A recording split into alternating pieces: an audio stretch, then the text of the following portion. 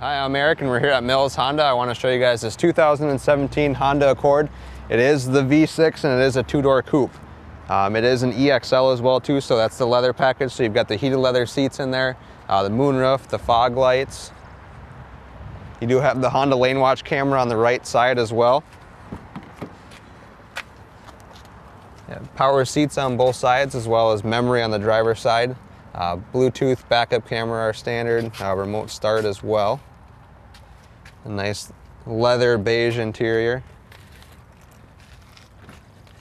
And you do have room in the back seat. It'll seat four total. It won't actually have a middle seat belt in the back.